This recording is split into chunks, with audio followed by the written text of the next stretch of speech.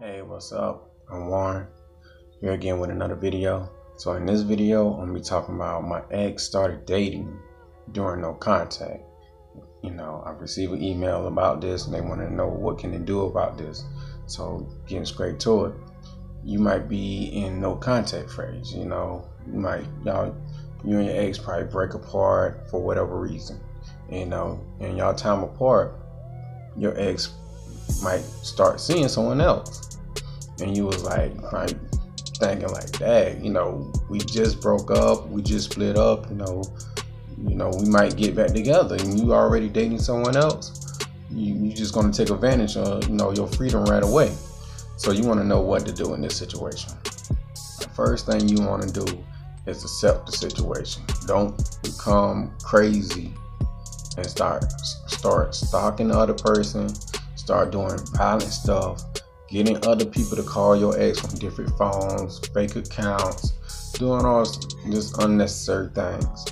You know, it won't get you any closer to your to, to your ex. It only gonna push them further away. You know, don't be delusional and tell your stuff, tell yourself, make believe things, hyping yourself up for whatever reason. So the first thing you need to do is accept it. Accept it. And think about what could what might have caused y'all to break up and work on that. You know, work on that. What might have broke y'all up. Because you cannot control anyone. The only person that you can control is yourself. You know, I know you're gonna go through the emotions, the ups and downs, the feelings that you're gonna have, the anxieties, can't eat, sleep, things of that nature. Go through that pain. It's necessary. And the thing you want to do most of all is focus on yourself. Like I said. Then when you go in no contact, stay in no contact. Don't reach out to them whatsoever. Like I mentioned previously, don't with the fake accounts and all that stuff.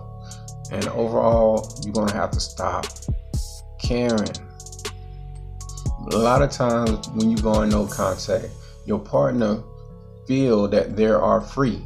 Now, if they venture off and go into another relationship right away after y'all after right as soon as you go in no contact understand that's a rebound relationship. It's not built to last. It's not built to last. That person is hurting also. When you know when people go through a breakup both parties suffer. Because you know if they really care about you both people suffer because they have feeling you have feelings attached to that person them feelings don't go away overnight.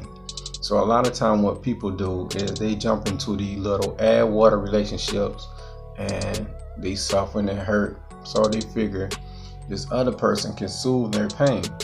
Not knowing that the other person is making it worse.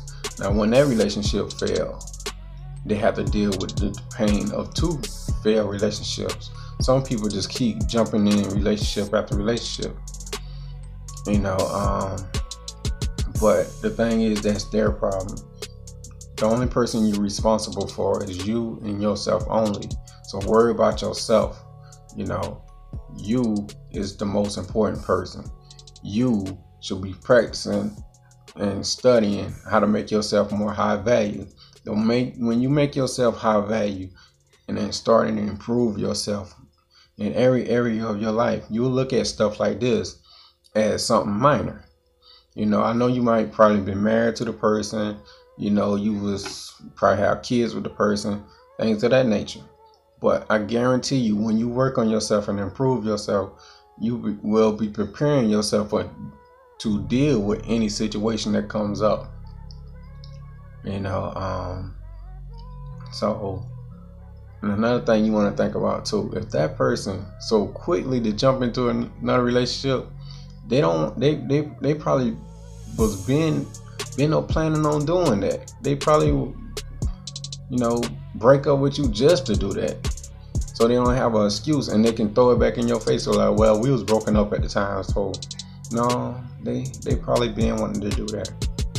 No, just pay attention to people actions. Pay attention to people actions. No, people will say anything. People will say anything. The actions tell you tells you how they really feel about you. You know, that's the key. Their actions. You know, they'll say one thing and do another.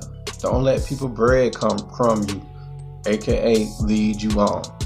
Don't let people manipulate you. Stop giving the other people your power in the relationship. They only do these things because you allow it, because you give them your power. See, the thing is, somebody gonna try you once, you know, um, you know, they can get over you one time, but they, if they continue to get over you and use you, that's your fault because you're allowing them to do it.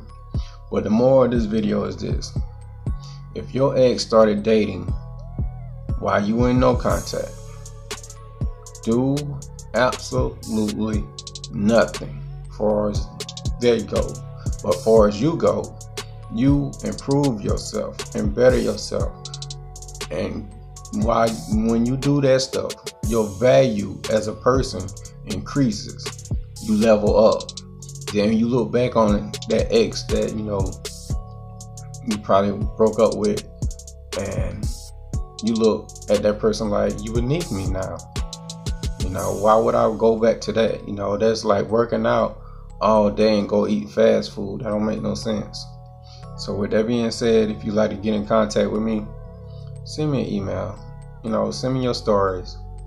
I love to help you. That's what I'm here for. And with that being said, peace. Take care.